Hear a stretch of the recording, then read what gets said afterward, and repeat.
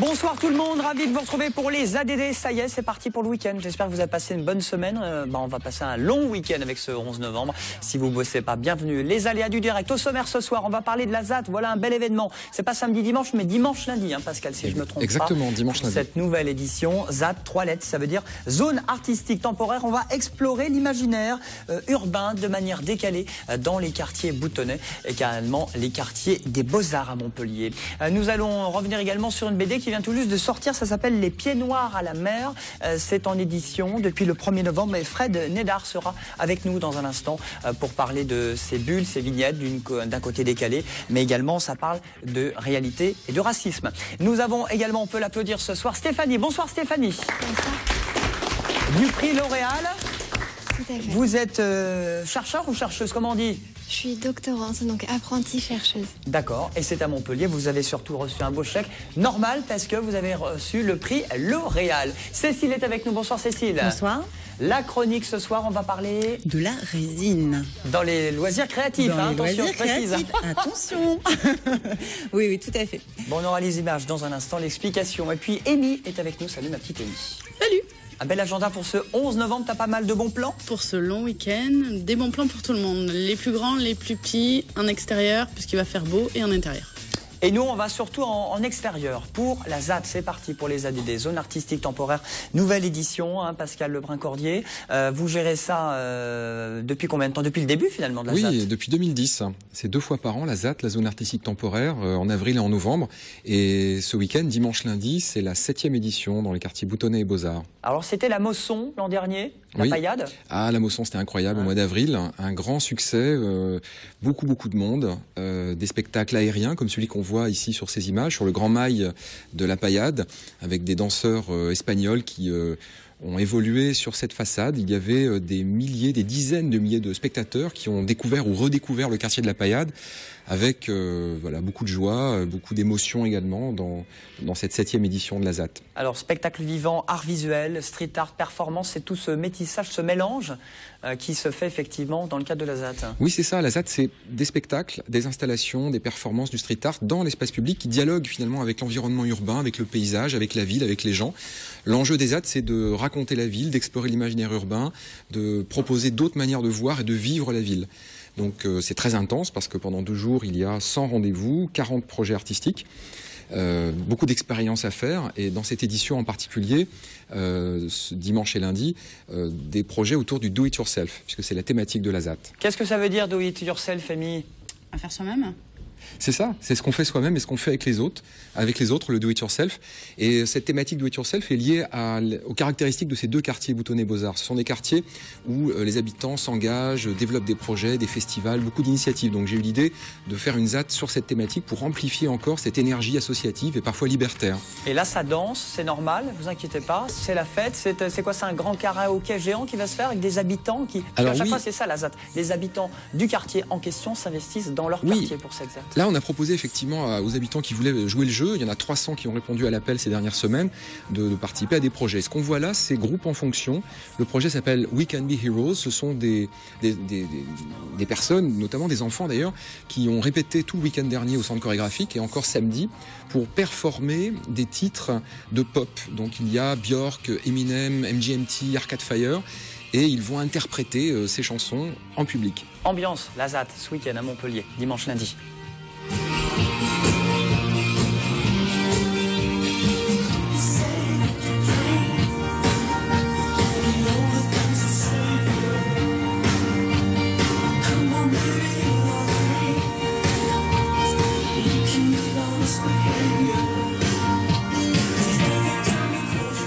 Voilà pour cette performance pop, beaucoup d'événements. Le mieux c'est d'aller sur internet, mais notamment on va parler de l'histoire du quartier parce que bah, à l'époque il y avait un abattoir euh, aux Beaux Arts. Oui, on ne le sait pas toujours, mais le quartier des Beaux-Arts s'appelait le quartier des abattoirs. Jusqu'en 84, il y avait un grand abattoir et donc on croisait des vaches, euh, des garçons bouchers, des tripières.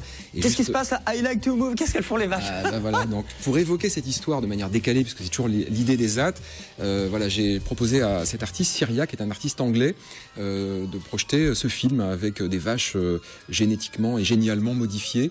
Euh, il y aura réellement deux vaches qui seront présentes et Jean-Louis Trintignant avec Michel Arbatz et Olivier Roman Garcia qui vont dire des vacheries euh, sur l'esplanade des Beaux-Arts, c'est-à-dire à, l'endroit même où se trouvaient les abattoirs, des poèmes qui évoquent les vaches en présence des vaches. Donc ça sera un clin d'œil à cette histoire du quartier Beaux-Arts, anciennement abattoir. On va croiser de tout, hein, des artistes, des plasticiens, euh, des vaches, mais également des, des atteurs et atteuses en roller aussi. Oui, un très beau projet effectivement avec des, des, praticiens du roller qui vont déambuler dans le quartier, qui vont nous montrer finalement qu'on peut s'approprier la ville de différentes manières.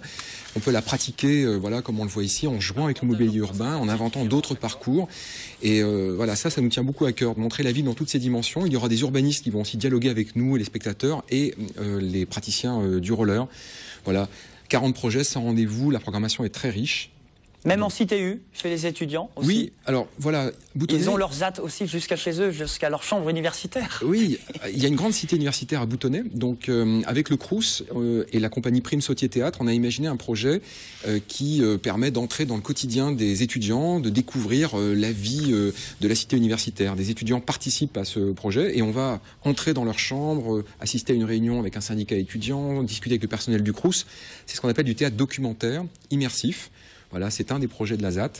Euh, parmi tant d'autres, ou avec par exemple Dimonet qui sera derrière le micro, notre chanteur de Montpellier. Alors Dimonet, voilà, qu'on aime beaucoup. Euh, Dimonet, il est présent à chaque ZAT, hein. il compose une chanson spécialement à chaque édition. Et là, il a une idée assez intéressante. C'est une performance qu'il va nous proposer lundi à 18h sur l'esplanade des Beaux-Arts, là encore à l'emplacement des abattoirs. Il va se faire tatouer en public. Il va jouer sa peau, littéralement. Une vache, qu'est-ce qu'ils vont mettre? Ah, alors il va tatouer le sur, sur, une épaule nord, justement. Là, vous voyez son épaule nord. Il va tatouer la date euh, du jour. C'est un moment unique hein, qui va marquer euh, sa carrière, sa vie d'homme, et puis nous, notre parcours de spectateur, euh, avec un musicien et un tatoueur. Ça sera voilà, une performance, un moment unique qui fera écho aussi à l'histoire du quartier pour une centaine de rendez-vous, c'est quand même un bel événement. C'est gratuit, il faut le rappeler. C'est dimanche et lundi, jour férié. 19 avril 2014, la ZAD, c'est où Pascal ah, Ça, c'est à Malbosque. Ça sera la huitième édition. Voilà, c'est un projet de la ville de Montpellier et euh, vous pouvez nous rejoindre Facebook, le site de la ZAT. On vous attend très nombreux. Eh bien, merci beaucoup, Pascal. Merci, on peut l'applaudir pour ce bel événement. Tous les habitants de Boutonnet et les habitants du Beaux-Arts qui, qui, euh, qui s'investissent énormément pour la ZAT aller sur Internet. Merci, Pascal, pour la zone artistique temporaire. On continue les aléas du direct avec euh, cette fois un, bouquin euh, tout à fait original, intéressant, décalé. Ça s'appelle Les pieds noirs à la mer. C'est sorti depuis le 1er novembre. Il est avec nous, on peut l'applaudir. C'est Frédéric Nénard. Bonsoir, Fred. Bonsoir, Julien. Auteur d'autofiction, c'est votre. Voilà, on peut vous, nommer comme ça. C'est à peu près ce qui correspond à ce que je fais, oui. Alors c'est bon, on vous connaît aussi parce que vous avez fait pas mal de, euh, notamment des, de bulles pour euh, euh Pif Gadget, euh, pour également euh, Spirou. ça c'était dans le magazine Spirou, encore les, les petites sorcières. Mais là, c'est une BD qui est différente. C'est la troisième de ce genre. C'est même une suite d'ailleurs. C'est une suite logique parce que en fait, je me regarde le nombril, je, me, je raconte mon, ma vie à moi parce que c'est celle que je connais le mieux. Euh, mon enfance en fait. Donc la première, ça se passait à la fin des années 70. La seconde, ça se passait au début des années 80. C'était un voyage à Berlin-Est. Et c'est celle que je viens de terminer, donc euh, qui s'appelle Les Pieds Noirs à la mer, se passe en 85 euh, à Marseille. Alors là, c'est la troisième du genre, mais même si on n'a pas lu la première, non, non, la c'est pas grave. Voilà, c'est des histoires, c'est des, one-shots, comme on dit. Alors, one shot, là, c'est l'histoire de, Daniel, c'est lui qui parle à la première personne, c'est le narrateur. Ouais, c'est mon alter ego. Ouais. lui, il arrive à Marseille, il va voir ses grands-parents, des grands-parents qui sont pieds noirs, mais euh, bah, euh, sur fond de racisme aussi. Oui, euh, c'est vrai que ce dont j'ai voulu parler, c'est un problème qui est assez sensible, c'est-à-dire essayer de, casser le, manichéisme du bien, du mal, des gentils et des méchants. Là, en fait, le narrateur, qui est un, autre moi-même, va voir ses grands-parents qu'il aime, donc il, il, a beaucoup d'affection pour eux. Euh, mais euh, il y a pas mal de réflexions qui fusent et ça devient de plus en plus violent par rapport au, racisme. C'est-à-dire que les, il y a beaucoup de, enfin, les, pieds noirs, donc, comme chacun sait, sont arrivés, euh, enfin, ont été, ont été rapatriés entre guillemets. années 60. En 1962. Et donc ils ont ils ont dû quitter leur, leur, terre natale et ils ont ils ont été traumatisés par ça. Ils ont ils en ont gardé des rancœurs. Et il y a beaucoup de pieds noirs donc qui sont tombés dans, dans, le, dans le racisme primaire vis à -vis des Arabes et c'est d'autant plus euh, paradoxal que les pieds noirs d'Algérie et les, Algériens arabes, musulmans, partagent beaucoup de choses, partagent euh, une culture commune. Euh, ma grand-mère aussi, quand elle était plus jeune, elle parlait arabe avant de parler français. Donc j'ai voulu parler un petit peu de tout ce mélange de genres, tout cet aspect un petit peu paradoxal il est raciste, il déteste les Arabes, il aime pas les Noirs, les Juifs. Lui qui est marié à une Juive, euh, c'est quand même mon pépé, je l'aime quand même. Voilà, ça résume un, peu. Ça résume un peu l'état d'esprit, ça résume pas le récit, mais ça résume l'état d'esprit. Ce, ce, dont j'ai voulu parler aussi, c'est des choses dont on parle très peu quasi, ou quasiment pas, c'est-à-dire... Euh, c'est-à-dire qu'il est confortable de mettre les pieds noirs dans une, dans une posture de, de colonisateur, de gros colons, qui, qui ont fait le suivi, le burnous, comme on dit, qui ont fait, qui ont fait euh, travailler pour leur compte les, les musulmans. Euh, en fait, les pieds noirs, quand ils sont arrivés en France en 1962, ils ont été victimes eux aussi de, de racisme de la part des métropolitains. Il y a eu un racisme très violent. Est-ce que vous, enfin, comme vous avez lu le livre, je pense que vous savez pourquoi ça s'appelle Les pieds noirs à la mer. Dites-moi. Bah, déjà, c'est à Marseille. Ouais. Bon, ça n'a rien à voir avec Martine à la mer, Martine à la montagne. Martine à la plage? Martine à la plage, non. Euh, voilà, en fait, quand ils sont arrivés sur, il y, a, eu 850 000 pieds noirs qui sont arrivés sur le port de Marseille en, 1962. Ils ont été accueillis par des pancartes de la, CGT, notamment des dockers de la CGT, sur lesquels étaient inscrits les pieds noirs à la mer. Euh, il y avait un, donc euh, Gaston Defer, Gaston le maire de Marseille à ce moment-là, a pris la parole en disant que les pieds noirs, que les pieds noirs allaient se faire réadapter ailleurs. Il a même dit qu'ils allaient se faire prendre ailleurs. Donc c'était vraiment du racisme anti, anti, anti pieds noirs. C'était une nouvelle communauté qui arrivait et euh, les gens qu'on qualifie régulièrement et habituellement de, racistes ont été eux aussi victimes de racisme. Alors il y a du réel euh, dans tout ça, mais il y a aussi un côté décalé, notamment avec ces, des têtes d'animaux que vous avez représentées. Il y avait besoin de faire ça pour, euh, face à ce sujet qui est sensible, qui est même tabou, de, de, mettre aussi des, des, animaux dans, dans, vos, dans vos bulles. Oui, enfin ça c'est pas, pas le plus important, c'est juste un traitement graphique. c'est ce qu'on appelle la bande dessinée animalière, on la retrouve dans, dans, pas mal de bandes dessinées, euh, même d'autofiction ou, ou, autobiographiques comme Maus de Spiegelman. C'était, ça me, enfin, pour moi, c'était plus confortable de représenter des proches à moi avec des têtes de, d'oiseaux ou de mammifères plutôt que de, plutôt que de les représenter avec des têtes d'humains. 112 pages, n'hésitez pas. Pour l'instant, pas dédicace, je précise que vous êtes Montpellierin. Oui. Et c'est votre euh, troisième BD de, ce genre pour euh, les, pieds à la mer. Merci. Les pieds noirs à la mer. voilà. Pieds noirs. Bah, j'espère que vous allez lire maintenant. Bah oui, ça sera mon cadeau pour moi, pour continuer les, les, aléas. Vous restez avec nous On va continuer avec Loisirs Créatifs sur TV Sud et c'est maintenant.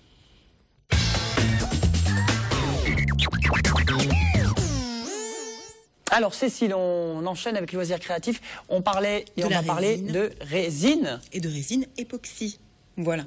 Alors tout simplement, la résine époxy, elle se présente sous trois formes de kits chez PBO. Alors qu'est-ce que c'est déjà? Alors la résine, c'est très simple. c'est une matière en fait qui imite la pâte de verre, tout simplement. Euh, c'est deux produits, donc une résine et un durcisseur, qui sont liquides à la base, et avec le durcisseur qu'on met en fait dans des moules en silicone, donc souple, tout type de moules, hein, même ceux qui sont faits pour la cuisine. Vous coulez en fait le produit directement dans le moule, vous attendez, et ça donne un produit solide à la fin. Voilà, tout à fait solide. Donc après, ça permet de fabriquer toutes sortes d'objets. Euh, là, j'ai pris des petites friandises pour les moules parce que c'était pour les enfants, mais ça peut être tout à fait euh, autre chose, décor de table, euh, boutons de porte, voilà. Et on peut vraiment tout fabriquer à partir de cette matière qui durcit instantanément, qui est très très solide, qui est transparente et qui imite parfaitement la pâte de verre. Voilà. C'est une technique de glaçage? Alors, il y a deux, effectivement, deux types de résine. Il y a une résine qui permet de faire des objets à peu près de 5 cm d'épaisseur, pas plus. Hein. Faut pas, voilà, faut pas exagérer non plus. Et puis ensuite, vous avez la résine de glaçage. Et là, donc, la résine de glaçage. Donc, il y a trois petits kits, mais ça, c'est la résine de glaçage. Et là, en fait, ça permet de faire une couverture. Donc, vous pouvez prendre tout simplement une carte postale, une photo, euh, peu importe. Vous mettez la résine par-dessus. En fait, ça fait une plaque émaillée comme on pouvait avoir en fait, là j'ai pris une vieille photo, euh, voilà, une carte postale, comme on pouvait avoir en fait euh, vraiment émaillé, donc c'est vraiment durci. Et ça permet bah, toutes, sortes, toutes, sortes, de petites choses. On peut effectivement y mettre des aimants ensuite derrière. Là, je fais un petit peu de publicité, mais, mais, on peut y mettre des aimants derrière. Voilà, fabriquer des choses plus personnalisées, euh, faire tout un tas de choses. par, exemple, par rapport à votre, publicité, je me permets. Pour dire que pour l'instant, le livre n'est disponible que chez Sorams. On, eh ben, voilà, on a de diffusion. on l'a fait exprès. On l'a fait exprès. pas de hasard. Euh, sûrement que vous pourrez venir faire une dédicace d'ailleurs. voilà. Et d'ailleurs, les loisirs créatifs, on peut en faire tout au long de, ce week-end à se rendre sur le triangle à, au... Odysséum. À Odysséum, oui, oui, bien sûr. Vous pouvez effectivement venir et on pourra effectivement parler de la résine. Hein. Euh, effectivement, donc avec la résine, vous pouvez euh, faire toutes sortes de petites choses comme ceci. Il y a des choses pour les enfants et il y a des choses pour les adultes aussi, voilà, qu'on peut fabriquer. Elle sert aussi, et là je sais que vous avez parlé de la pâte fimo avec Julie euh, plusieurs fois, elle sert aussi beaucoup pour les, pour les fimoteuses. Donc les fimoteuses, c'est celles qui font de la fimo pour vraiment beaucoup, beaucoup d'utilisation. Cécile, qu'on peut applaudir. On vous remercie. Merci beaucoup. On enchaîne avec Stéphanie. Le prix L'Oréal, c'est suite à un, concours. Euh, vous, travaillez à l'INSERM, si je ne dis pas de bêtises?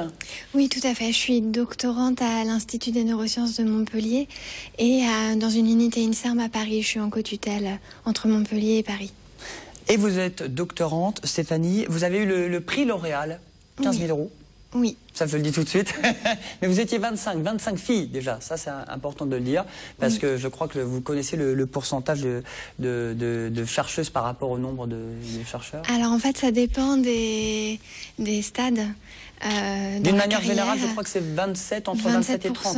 Voilà, mais quand on monte euh, dans les, dans les postes à responsabilité, euh, là, on chute considérablement aux alentours de 13%. Donc 13% seulement euh, des, chercheurs sont, des femmes. Et donc, des chercheuses à responsabilité. Et c'était l'occasion de, mettre en valeur ce que vous avez fait. Alors vous, vous avez bossé sur le vieillissement suite pour cette récompense finalement Oui, en fait, je suis également médecin. Euh, je travaille en psychiatrie et en gériatrie et mon travail de recherche euh, s'oriente sur le vieillissement. À Montpellier, j'étudie le vieillissement auditif et à Paris, le vieillissement central, c'est-à-dire le vieillissement cognitif. Alors c'est quoi exactement? C'est pour, euh, c'est pas pour enlever ses rides et tout ça? Euh, non, enfin si, les rides du cerveau et des oreilles. Très bien, j'aimerais enlever mes rides du cerveau. bon, le but c'est de faire avancer aussi, c'est de faire avancer la, recherche. Vous êtes contente, vous êtes fière d'avoir eu ce, prix? Il y a un message derrière tout ça? Euh, Oui, bah, ça, ça, encourage euh, énormément pour continuer les recherches. Moi personnellement, ça va me permettre d'aller dans des congrès internationaux et de faire des expérimentations au Canada. Et euh, d'une manière générale, ce prix euh, L'Oréal UNESCO euh, s'intègre dans un, dans un programme un peu plus large qui s'appelle le programme pour les femmes et la science, qui récompense à la fois des doctorantes dans plusieurs pays, mais aussi des, des chercheuses euh, qui ont beaucoup d'expérience. Il y a cinq chercheuses par an, très expérimentées, qui reçoivent un prix remis par l'Académie des sciences.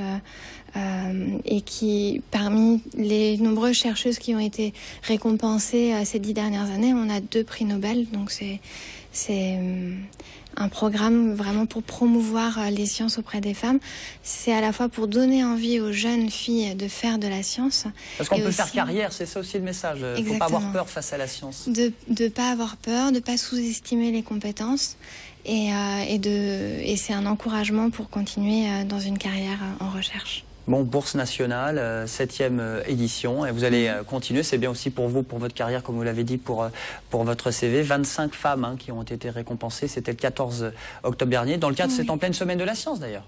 tout à fait. C'était pas par hasard. C'était vraiment pour. Euh, on, a rencontré le soir de la cérémonie de remise des prix des jeunes lycéennes euh, qui se posent la question de savoir si elles veulent faire de la science ou pas. Et euh, on avait pendant une heure, on passait un quart d'heure avec cinq à six lycéennes pour leur expliquer un peu notre quotidien et pour leur donner envie de faire comme nous de la recherche.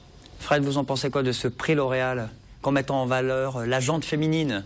Moi, oui, enfin, moi je trouve que c'est c'est bien quand ça devient anodin, c'est-à-dire que ce soit une femme ou un homme, c'est bien aussi de ne pas en parler.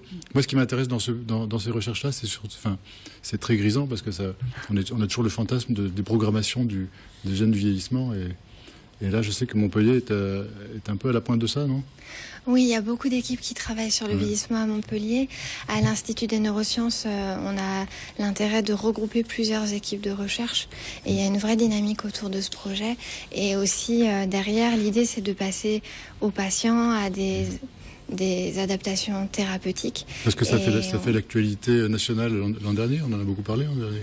Mhm.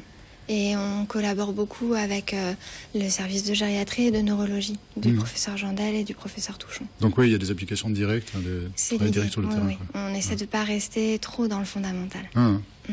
Bravo. Bah encore bravo pour votre euh, prix euh, Merci, L'Oréal. Stéphanie, et pour la suite des aventures. Merci, Merci. beaucoup, vous avez une voix très très douce. Très Oui, posée, très calme. très, vous êtes maman, non? Oui. Quand oui, vous oui. engueulez vos petits, ça se passe comment?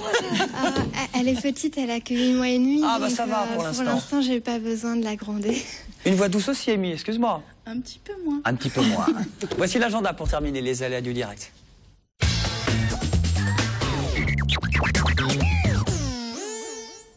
Fred va peut-être y aller. Les allées du livre, c'est à Béziers et c'est ce week-end, Amy. C'est le 9 et le 7 décembre. En fait, le 9 novembre et le 7 décembre, c'est sur deux dates. De 10h à 18h sur les allées Paul Riquet.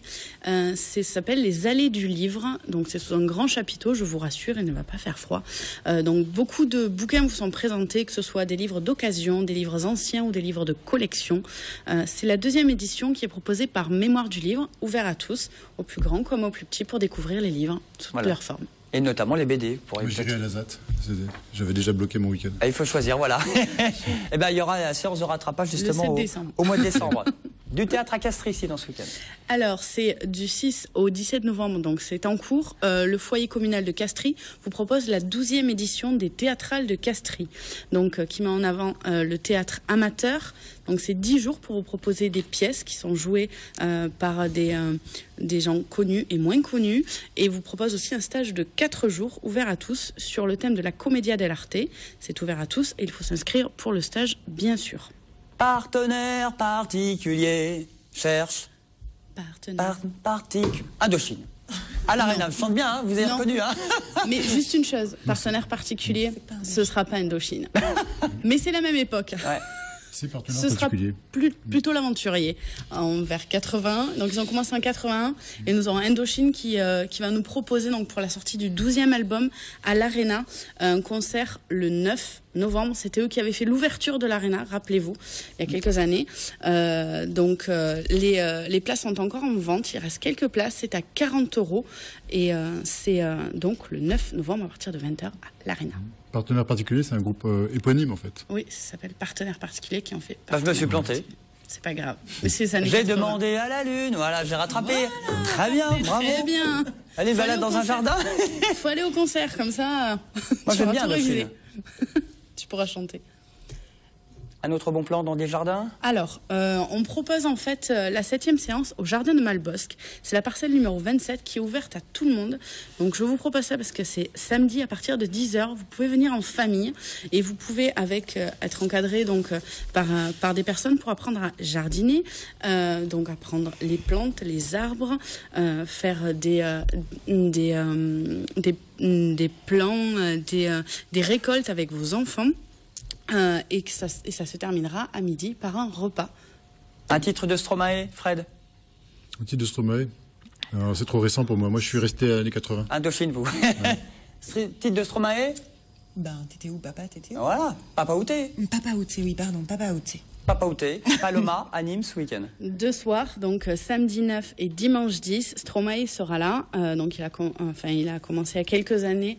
Euh, et euh, cette année avec donc le titre Papa Outé que vous connaissez très bien, qui a marché. Qui a marché Formidable encore. c'est un des meilleurs titres qui a été tourné dans la rue, vraiment aux yeux de tout le monde.